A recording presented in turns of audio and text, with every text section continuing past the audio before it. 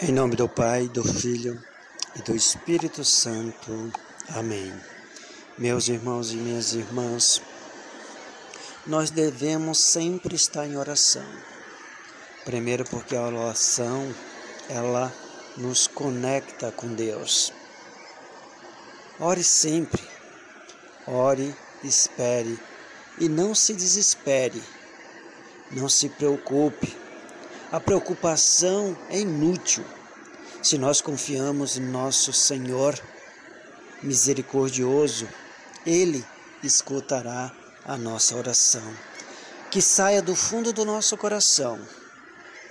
A sociedade de hoje não reza, não procura Deus, por isso está desmoronando. A oração é a melhor arma que nós temos que nós possuímos é a chave que abre o coração de Deus, que é amor.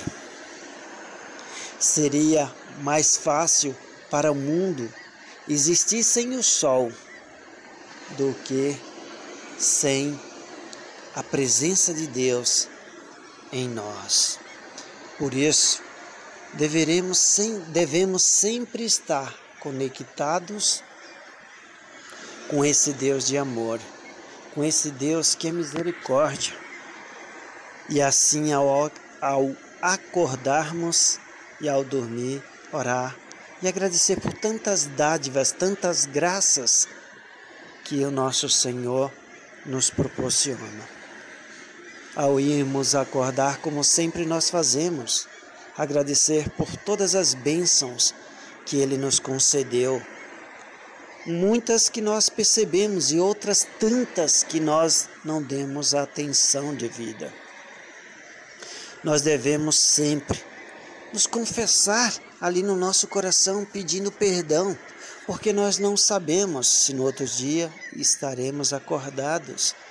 Porque Deus é misericórdia, é amor, é perdão.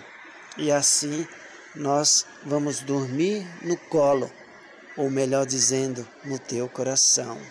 Por isso, devemos sempre é, orarmos e procurarmos a presença de Deus, para que assim possamos sempre, sempre estarmos fortes e vigilantes. A oração é a arma mais poderosa, junto com o amor, porque quando oramos, oramos com o coração, com amor, e ela vai direto ao coração de Deus. Por isso, orem não importa a situação, orem, acredite, se entregue e entregue os seus temores, seus medos, suas dores na mão daquele que pode tudo, pode acreditar.